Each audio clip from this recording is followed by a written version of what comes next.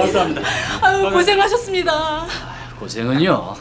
의사로서 할 일을 했을 뿐입니다. 아유 세상에 이렇게 땀까지 뻘뻘 흘리시고 아유 정말 예, 아유 힘드시죠? 예, 환자의 건강과 생명을 먼저 생각하는 게 의사의 직분입니다.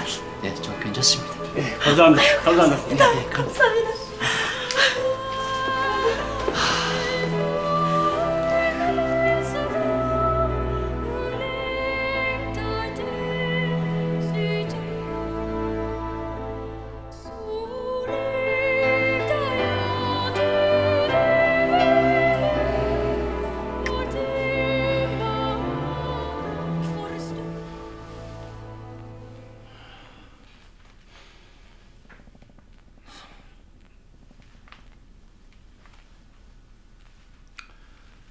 의료는 서비스다. 그것도 아주 비싼 서비스다. 이게 우리 병원 신조다.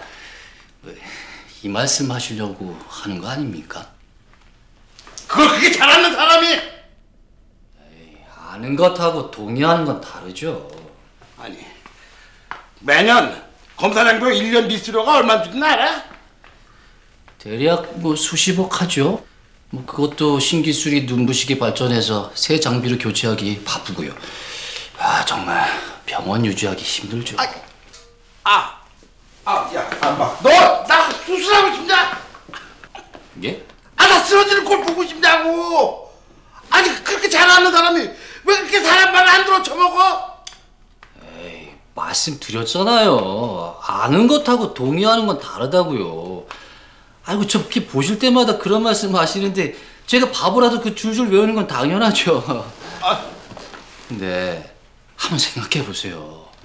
수술비보다 진단 검사비가 너댓 배더 든다는 게 환자들 입장에서 말도 안 된다는 거 이건 왜 생각을 안 하세요? 굳이 안 해도 되는데. 이, 이 사람이 아니 지금 그 우리가 말이 안 되는 소리 한다는 거야?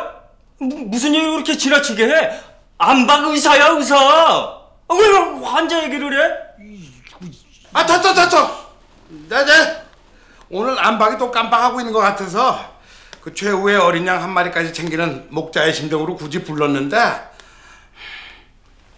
정말 후회 없지?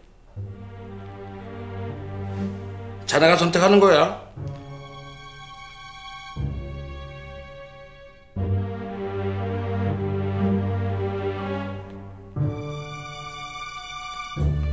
네?